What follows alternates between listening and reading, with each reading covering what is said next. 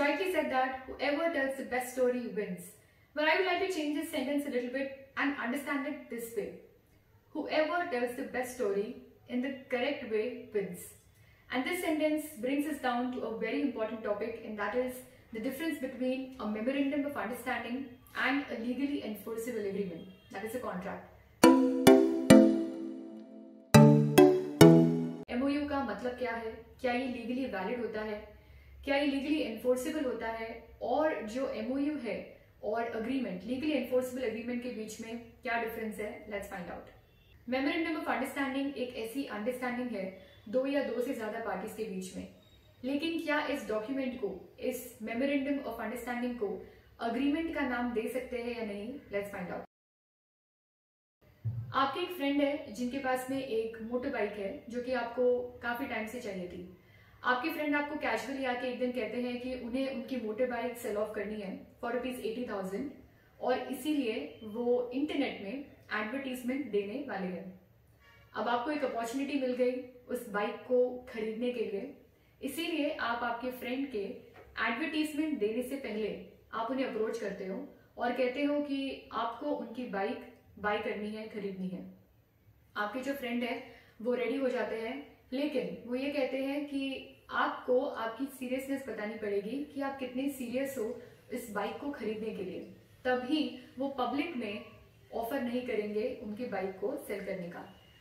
अब यहाँ पे आप इमिजिएटली कॉम्प्रोमाइज करते हो और फोर्टी थाउज़ेंड का चेक इमिजिएटली हैंड ओवर करते हो आपकी फ्रेंड को। और ये कहते हो कि जो बैलेंस अमाउंट है, वो विद इन अ मंथ आप उन्हें पे ऑफ़ कर दोगे। अब यहाँ पे एक एमओयू एग्जीक्यूट हो रहा है दोनों फ्रेंड्स के बीच में। बायर और सेलर के बीच में और उस एमओयू के कंटेंट में क्या लिखा है लेट्स फाइंड आउट यहाँ पे जो सेलर है, वो ये कहते हैं कि जो चेक उनके पास में डिपॉजिटेड है, वो वन मंथ के लिए एनकैश नहीं करेंगे.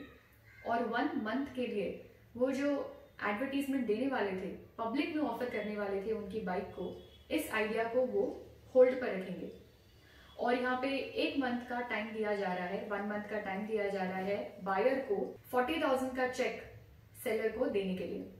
अब ऐसे एमओयू को, ऐसे डॉक्यूमेंट को लीगली एनफोर्सेबल नहीं माना जा सकता है, क्योंकि यहाँ पे जो बायर है, उन्हें एक ऑप्शन दिया जा रहा है कि वो उस बाइक को परचेज करे या ना करे। जो वन मंथ का पीरियड है, वो एक ऑप्शन है उस बायर के पास में।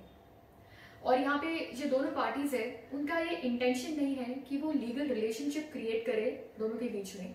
यहाँ पे किसी भी तरीके का लीगल ऑब्लिगेशन नहीं क्रिएट हो रहा है दोनों पार्टीज़ के बीच में। और इसीलिए ऐसे डॉक्यूमेंट को लीगली एनफोर्सेबल नहीं माना जा सकता है। जो एमओयू है, वो टोटली ऑपोजिट होता है एक कॉन्ट्रैक्ट का। इसमें जो सेक्शन टेन है, उसके जितने भी प्रोविज़न है, वो कंप्लाई नहीं होते हैं किसमें? एमओयू में। और यहाँ पे जो अग्रीमेंट होता है लीगली एनफोर्सेबल एग्रीमेंट उसमें सेक्शन 10 इंडियन कॉन्ट्रैक्ट एक्ट में जितने भी प्रोविजंस दिए गए हैं, इन सारे प्रोविजंस को कंप्लाई किया जाता है। Now let's see certain technical points ऐसे कई सुप्रीम कोर्ट के जजमेंट्स हैं, जिसमें ये कहा गया है कि जो एमओयू है, वो लीगली वैलिड है। यानी एमओयू है, उसे as good as a contract माना गया है। एक जजमेंट में ऐसा कहा गया है कि जो डॉक्यूमेंट है, उसके टाइटल से, उसके हेडिंग से, आप ये डिटरमिन नहीं कर सकते हो कि वो डॉक्यूमेंट लीगली एनफोर्सेबल है या नहीं। जो डॉक्यूमेंट होता है, उसके कंटेंट्स के बेसिस पर, उसमें जो टर्म्स एंड कंडीशंस उसमें जो क्लॉजेस मेंशन किए जाते हैं, उनके बेसिस पर आप ये डिटरमिन कर सकते हो कि जो डॉक्यूमेंट है, उसका नेचर क्या है, उसका टाइप क्या है, क्या वो लीगली वैलिड है, क्या वो लीगली एनफोर्सिबल है या नहीं।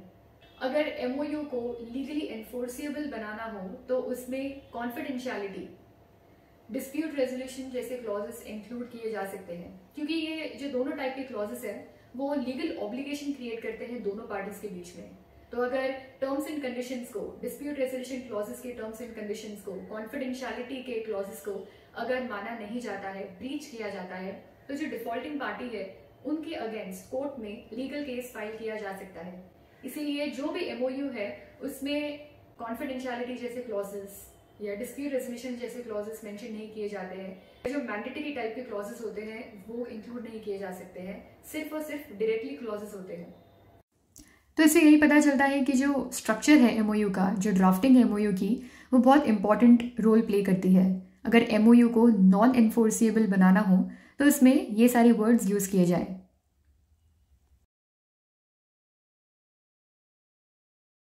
So this was it for today. This was all about the difference between a legally enforceable agreement and memorandum of understanding. Hope you found this video informative. Do a like, share and subscribe to our channel Studio Legal if you found it useful. And thank you for watching till the end. We will see you in the next one.